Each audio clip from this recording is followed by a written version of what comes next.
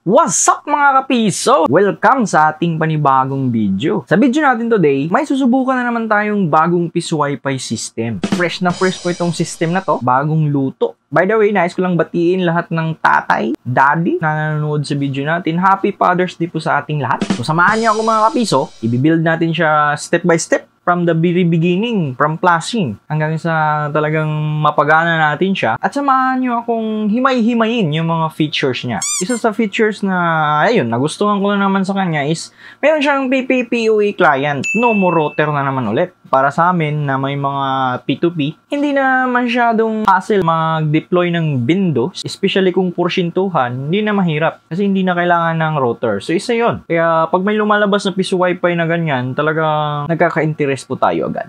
Yun nga, aside doon sa features na yon, isa-isahin din natin yung ibang features niya. Kasi yung sabi, mabilis daw po itong piso wifi system na ito.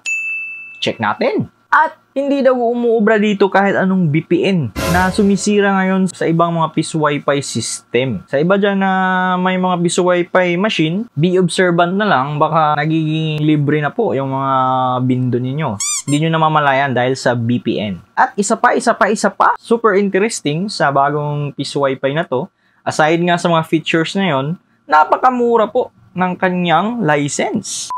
Okay, so before pala tayo mag-proceed, syempre, shoutout muna natin yung malulupit ng mga Kakiso Wi-Fi community natin. Unahin na natin si Master Jao. Next shoutout natin is para kay Sir Dandan ng Airdan Networks. Isa sa mga bigatin na internet provider dyan sa Davao de Oro area. And last but not the least, shoutout kay Sir Kevin Tuason from Cagayan Valley.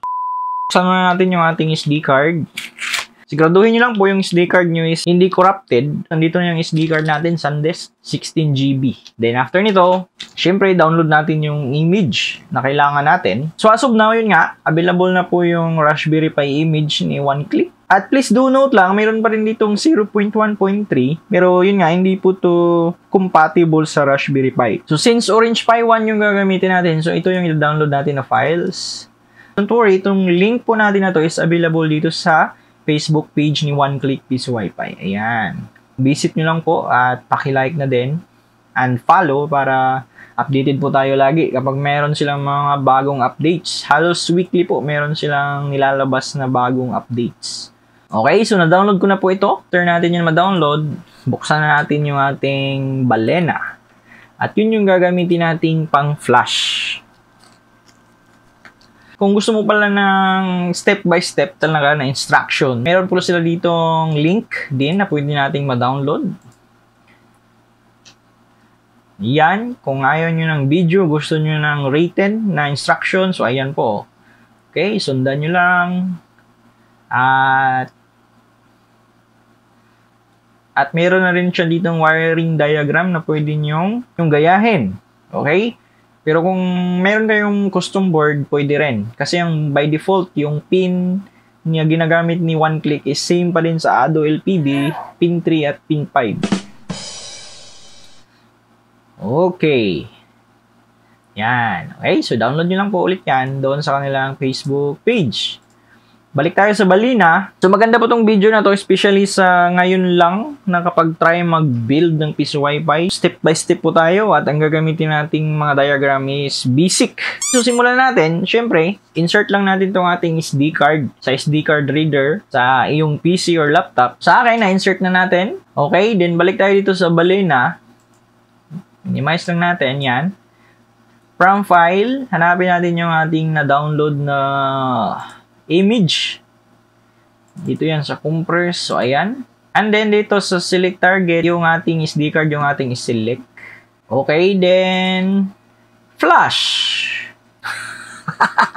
Nakadepende po yung flashing sa iyong SD card. Kung magandang klase yung SD card mo, mas mabilis. Pag pangit naman, eh, syempre, mapapansin mo, medyo mabagal din. At depende rin pala yung guys sa PC or laptop. Sa akin kasi is gigabit or 3.0 yung adapter ng aking SD card. So, siguro mapapansin yung medyo mabilis siya. So, kita nyo, 12 to 11 Mbps per seconds. Estimate time na matapos yung ating flashing is 2 minutes. And Sabihin natin 3 minutes. Napaka-importante during flashing, dapat hindi po magalaw yung ating SD card. Kasi once nagalaw nyo po yun, may tendency or malaki yung tendency na masisira po siya or makukurap. So mas maganda, hayaan nyo lang po siya hanggang sa matapos.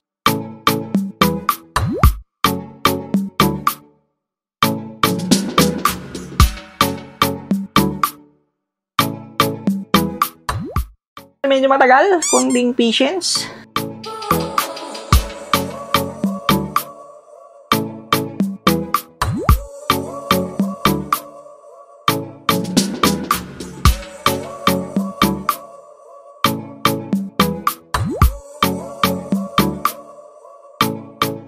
So malapit na mga kapiso, tapos na yung flashing. Nasa validation stage na tayo. Konting-konting antay na lang to. Pwede nyo na nga siyang i-skip. May skip button po dyan sa taas.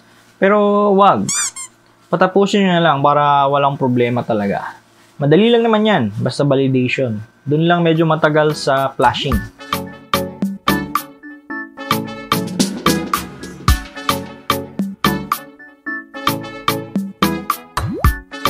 Ayun! Finishing. so tapos na po yung ating uh, flashing gamit yung balay nature.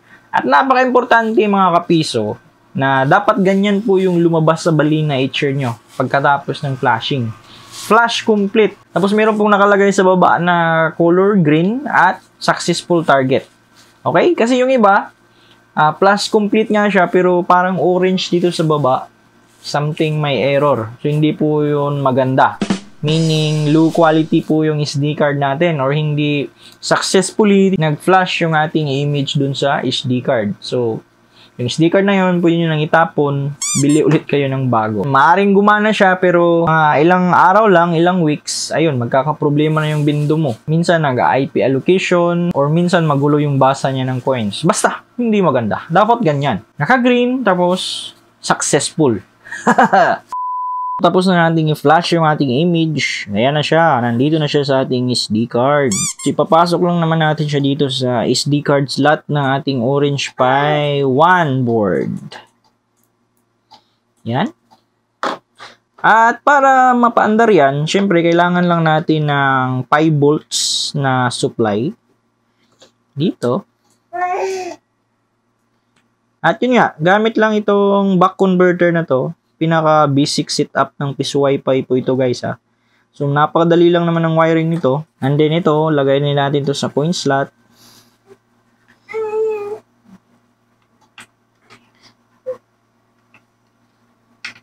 Then, syempre, lagyan din natin ng ganito yung coin slot natin. Pero kung may custom board po kayo, kahit wala na nito, itong GTS wire, And then sa pin, madali lang po itong GTS or yung nandyan sa likod ng coin slot. Uh, ilalagay mo lang siya sa pin 5. At syempre yung coin pin natin, pin 3, magkatabi lang po yung 3 at 5. Ganyan lang po yung basic wiring niya. And then, saksakan natin siya ng USB to LAN dito. Then, dito, sasaksak natin, isasaksak natin yung galing sa ating internet source. Yan. So, siguro by default, naka-dynamic IP pa to. So, i-check natin mamaya yung PPPoE option. Ganyan lang po ka-simple ang basic setup natin, mga kapiso. Shoutout at maraming salamat na din kay Sir Glenn Mix Agot. Siya po ang nasa likod ng one-click piece Wi-Fi system. Kung hindi dahil sa kanya, hindi magiging possible tong video natin today. Shoutout na din sa store niya dyan sa Tagum City, ang PC Bytes. Moment of truth ng mga kapiso natin. Ayan, ready na po yung ating setup. Ang isa sa nakakabilib daw kay one click is Wi-Fi kaya nga tinawag siya na one click kasi sobrang bilis. From boot up hanggang sa paglabas ng portal, paghulog ng coins, lahat mabilis. So, malalaman natin yan ngayon. So, anong oras na ba? Alas 3.04. So, tingnan natin. Sasaksak natin siya, tapos orasan natin kung ilang minuto, segundo nga ba siya nagbo-boot up. Okay, so ready na yung system natin. Sasaksak na lang natin siya dito, yung 12 volts para gumana lahat. At titingnan din natin sa cellphone. One click piece wifi, yung ating AP. As of now, nakasaksak na po yung AP pero hindi pa po siya connected sa ating piece wifi kasi wala pa, hindi pa nagpa-power up po. So, kaya ganyan. Naglo-loading lang siya. So, mamaya titingnan natin yan kung ready na nga ba. Saksak natin guys. Moment of truth. Again, yung oras natin, ayun o, 3.06. So, saksak natin. Hoop! Ayan. Umilaw na. Tinayin yung coin slot natin. At yan o. Oh. Nag-uumpisa na mag-boot up yung ating Orange Pi. So, pag nag-stable yung ilaw ng Ethernet, meaning okay na ang boot up. Ayun. Okay na. Stable na yung boot up natin. Nung oras? 3.06 pa rin. Walang iya. Seconds lang ah. So, tingnan natin dito. Kung pwede na nga ba siyang mahulugan or pwede na ba siya tayo makakonect sa piso wifi mismo. Okay. So, pwede na. Ang oras, 3.06 pa rin. At, aba, lumabas agad yung portal. Walang hiyo. Mabilis nga, guys. Kita nyo? Wala pang minuto, segundo lang. Nag-boot up na siya. At sa sobrang bilis niya, hindi natin na malaya. Nag-redirect na agad yung portal. Hindi natin nabantayan yung portal kasi sobrang bilis ng pangapangyayari. Ulitin natin guys. Yan, i-off natin, then i-on, then mag-connect ulit tayo sa one click. Hmm, tingnan, connected. Hmm, mabilis nga ng hayop. Ngayon, try nating hulugan. Kung mabilis din ba niyang basahin yung coins. So, may dalawang piso tayo dito. At ito nga, yung ating coin slot. I-try muna natin kung gumagana ba itong setup natin na to. Na kapag walang insert coin, ayaw niyang tumanggap ng coins. Yun, so ayaw nga niyang tumanggap guys. Oh, ayaw. Yan. So, ganyang setup, simple setup lang. So ngayon, try nating mag hulog. Yan, dito ka, dito ka. Okay? Ito yung ating coin slot. So insert tayo. Okay? Insert. Whoop. Ba, bilis na oh. Andiyan na agad. Nabasa niya agad. Again. Insert. Bo! halos sabay bumagsak yung coins at saka sa time. Pambihira. Ang bilis! Dapat hindi one click to. Flash, piso wifi. Wala ba tayong ginawa dyan guys? Straight from default pa yan. Yan o, Bindo is in 1 hour trial mode. So may 1 hour tayo, gumana na agad siya. So ngayon naman, lipat tayo sa laptop natin at silipin naman natin yung whole system niya. Okay, ngayon naman, silipin naman natin yung pinaka-system niya.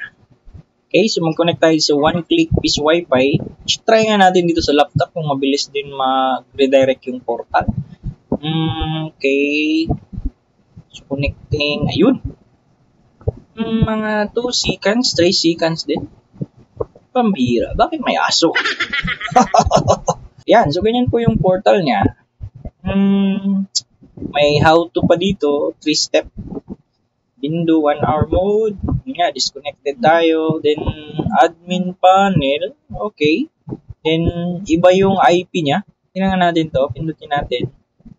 Ayun, so pwede na. May button siya. pero ang portal niya, ang address, ganun pa rin yata. 1 na, ayun. Okay. So, 10.0.0.1 pa rin yung portal. Pero yung admin panel niya, kung ano yung binigay na IP galing sa ISP, yun yung gagamitin mo sa admin panel. Tapos merong dugtong na iti-iti. Pero meron siyang button dito, admin panel, pindutin mo lang. Tapos mariredirect ka na dito sa dashboard. So ayan, ayan po yung kanyang dashboard. Malinis naman tingnan.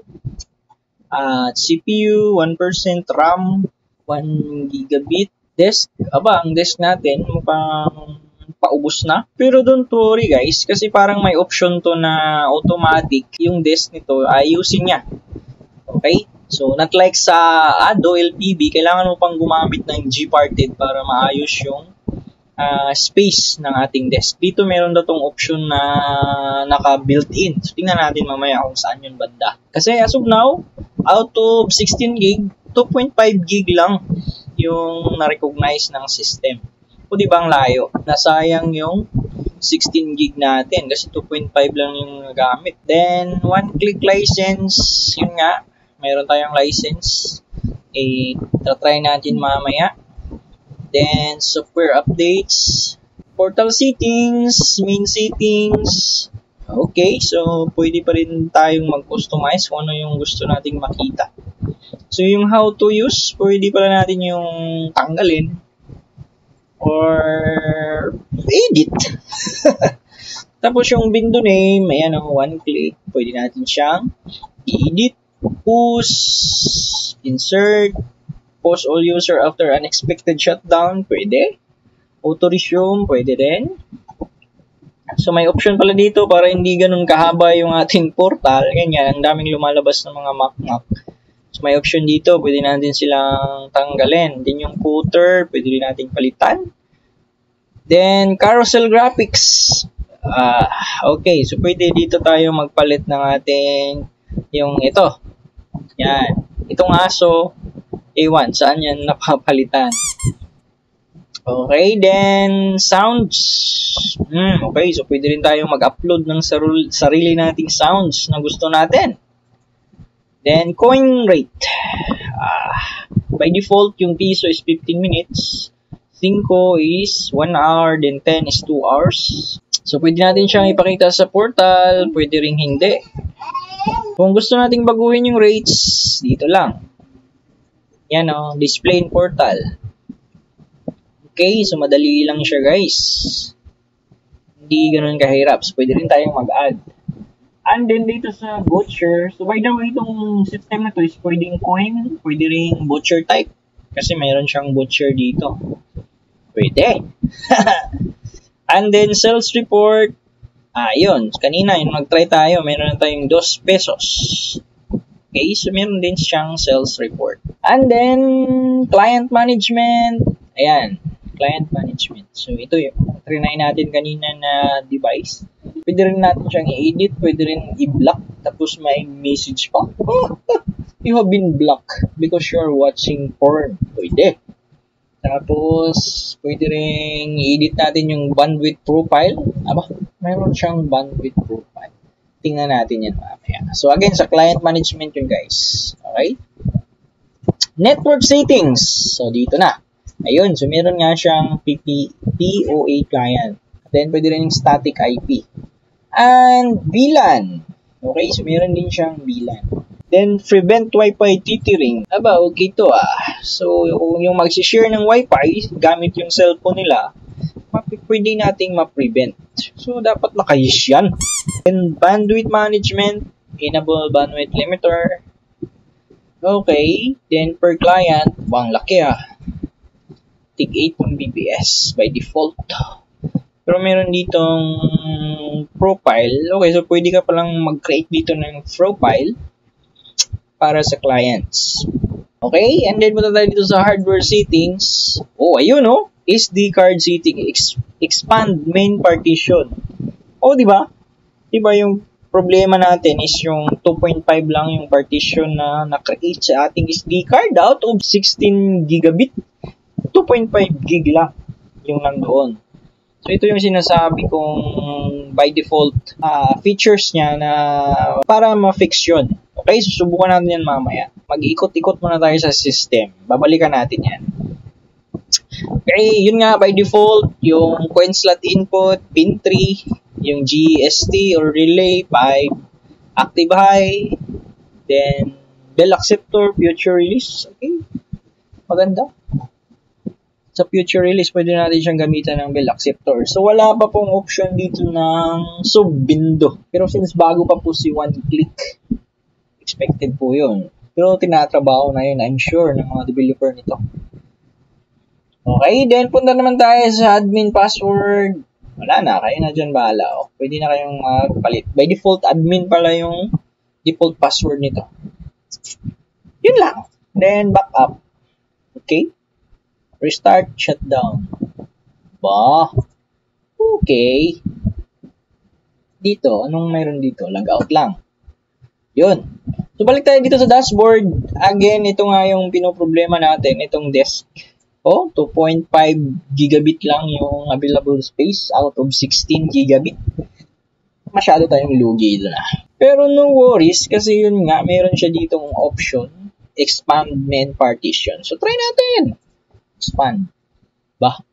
May lalabas dito na do not interrupt power during expansion in case of failure Please reflash. Okay, the window will reboot when finished. Around 2 minutes for 32 gig. You might see bad gateway. This is normal. Proceed. Okay, proceed. Okay, so magantay tayo guys. Magre-reboot daw yung ating window once natapos yung expansion. so again, kanina 2.5 gig lang yun. So tingnan natin kung ma-maximize na natin ngayon yung ating 16 gig na SD card. So, ayun, resizing this, please wait 1 to 2 minutes. okay, wait tayo. So, nang wala na yung naglo-loading-loading, naging ganyan na lang siya. So, try nating mag-connect ulit sa ating uh, one click. Disconnect lang natin. Tapos, connect. One click, piece wifi. Tingnan natin. Ayun. Nag-redirect siya. Then, admin panel tayo. At, uh, yun nga, naayos na yung ating desk management. Galing! At license, ito din yung isa sa kagandahan ni OneClick. 500 pesos lang. Mayroon ka ng magandang piso wifi system na kasing bilis nito. Okay, so kung gusto niyo po ng license, PM niyo lang po.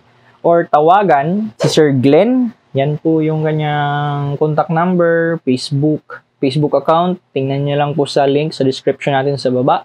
Okay, so may license po tayo dito. Madali lang naman mag-activate. Ganyan lang. Then, register license. Act. Activation successful. Thank you.